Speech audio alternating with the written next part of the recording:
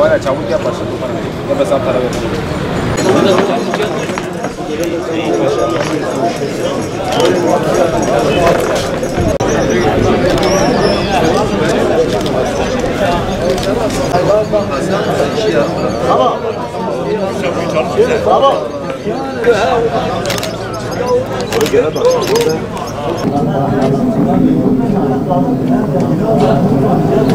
Siyasi çalışmalar kapsamında bugün Elazığ, Elazığ Paro ilçesindeyiz. İlçe teşkilatımızın açmış olduğu o standı ziyaret ettik, başarılar diledik. Siyasi partiler toplumun sorunlarını, problemlerini çözmek için kurulurlar ve bu konuda çalışmalarını yaparlar. Ee, halka yönelik yapmak istediklerini, projelerini, e, varsa vizyonlarını topluma anlatır.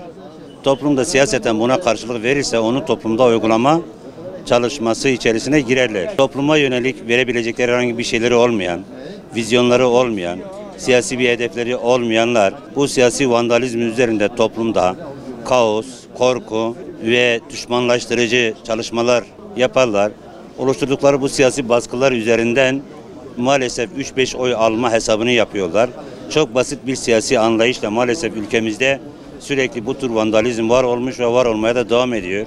İnsanlarımız ferasetlidir, basiretlidir. Bu ülkeye gerçekten bir şeyler verebilecek. Gerçekten siyasi vizyonu olacak. Siyasi vizyon üzerinden toplumsal refahı, huzuru, barışı, kardeşliği, sosyal adaleti, toplumda gelirin, refahın tabana yayılması için çaba gösterenler kendi gayret ve çabalarıyla halkın önüne somut deliller ortaya koyarak onları nasıl çözeceklerini topluma anlatırlar. Ama topluma verecek bir şeyleri olmayanlar hep kaos üzerinden bes- beslenmeye çalışırlar. Özellikle ırkçılık ve kavmiyetçilik üzerinden siyasi çalışma yapanlar e, partimize yönelik son dönemlerde e, bazı kışkırtıcı eylemler içerisine girmişler. Örneğini Trabzon'da hepimiz gördük. Biz Hüdapar olarak bunları kesinlikle tasvip etmiyoruz. Eğer gerçekten bu toplumu istenilen seviyeye getirmek istiyorsak hem yerelde hem genelde hem ulusal alanda devletin istenilen seviyede olmasını istiyorsak bu vandalizmden şiddetle kaçınmamız lazım. Siyaset gerçekten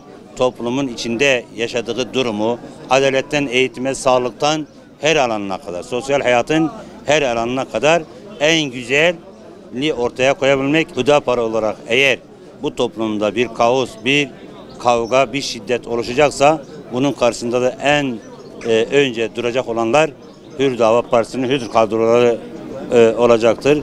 Bundan da herkesin emin olmasını istiyoruz. Malumunuz bir 10 gün sonra seçime giriyoruz.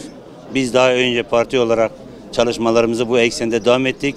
Milletvekili genel seçimlerinde AK Parti listelerinden aday olan kardeşlerimizden kardeşlerimize destek vereceğiz. AK Parti milletvekili adaylarına Cumhurbaşkanlığında da Cumhurbaşkanı Sayın Erdoğan'ı destekleyeceğimizi söylemiştik. Bu çerçeve dahilinde ülkede e, siyasi çalışmalarımız devam ediyor. Aynı kaldığımız yerden de devam edeceğiz. Bunu ara vermeyeceğiz. Özellikle siyasi parti liderlerinin kendi dillerine, üsluplarına dikkat etmeleri, toplumda oluşabilecek bir kaosa neden verecek, neden olabilecek açıklamalardan şiddetle kaçınmaları gerektiğini söylüyoruz. Herkesin de şunu bilmesini isteriz. Hüdapar şiddetten, kaostan kesinlikle beslenmeyecek. Hüdapar ilkeleriyle, programlarıyla ortaya koyduğu somut çözüm öneriyle, önerileriyle çalışmalarına devam edecek ve bu mihvalda da e, sonuna kadar mücadelesini devam edecektir. Standımda bayağı ilgi duyan arkadaşlar var halktan gelip teveccüh gösteren çok arkadaşımız var. Cumhurbaşkanı Sayın Recep Tayyip Erdoğan'ı destekliyoruz. Milletvekillerimiz AK Parti listelerine girmiştir. Bu çalışmamız inşallah verimli olur. Halkımıza, milletimize hayırlı olur. Çalışmalarında arkadaşlarımıza hepsine teşekkür ediyorum.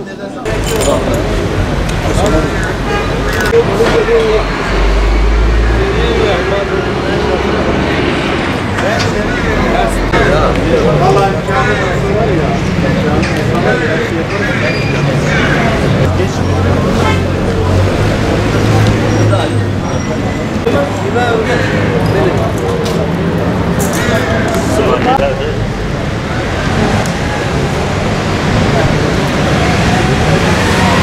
ee, seçim çalışmaları kapsamında bugün Elazığ ilimizin Kuancar ilçesini ziyaret ettik. Arkadaşlarımızın açtığı standı e, teşkilatımızla birlikte gezip e, ziyaret ettik. Çalışmalarına şahit olduk. E, üye çalışmaları devam ediyor. Partimizin özellikle milletvekili genel seçimlerinde AK Parti liselerinden giden e, arkadaşlarımızı destekleme adına milletvekili seçimlerinde AK Parti'den, Cumhurbaşkanlığı seçimde de mevcut Cumhurbaşkanı Sayın Erdoğan'ı desteklemek için çalışmalarımız devam ediyor. Seçime son 10 gün kaldı. Maalesef ülkede siyaset e, toplumun sorunlarına çözüm bulma, çözüm üretme, toplumu daha müreffeh, daha refah bir ortamda yaşam şartlarını, standartlarını daha üst seviyeye çıkarma e, özelliğinden çıkıp bir kavgacı, e, maalesef ötekileştirme, düşmanlaştırma üzerinden bir siyasi vandalizm geliştirilmek isteniyor. Ülkenin birkaç yerinde özellikle partimize yönelik olarak yapılan saldırılar e, bunun en e, güzel örneğidir. Şunun herkesin bilmesini istiyoruz. Siyasi vandalizmle hiç kimse kazanamaz. Eğer topluma verebilecek bir şeyiniz yoksa, eğer bir vizyonunuz yoksa, eğer bir hedefiniz yoksa, eğer bir eğer toplumu değiştirme, dönüştürme yön- yönünde ciddi projeler geliştirmemişseniz bu toplumu kamplaştırarak, ötekileştirerek, e, düşmanlaştırarak bir yere kimsenin varamayacağını herkesin anlaması gerektiğini sürekli söylüyoruz, dillendiriyoruz. Biz Hüdapar olarak her türlü şiddete karşıyız.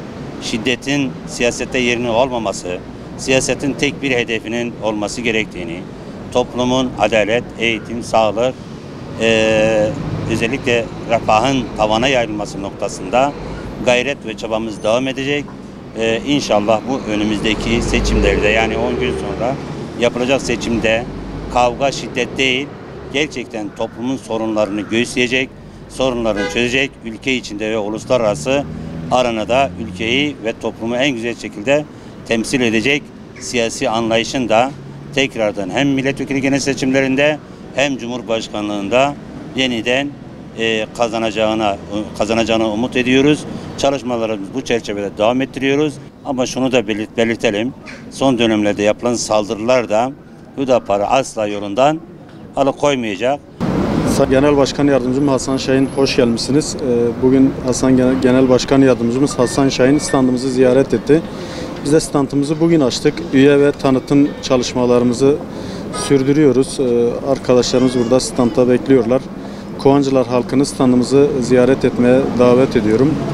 Bu noktada Cumhurbaşkanlığı adaylığında da Cumhurbaşkanımız e, Tayyip Erdoğan'ı partimiz destekleme kararı aldı.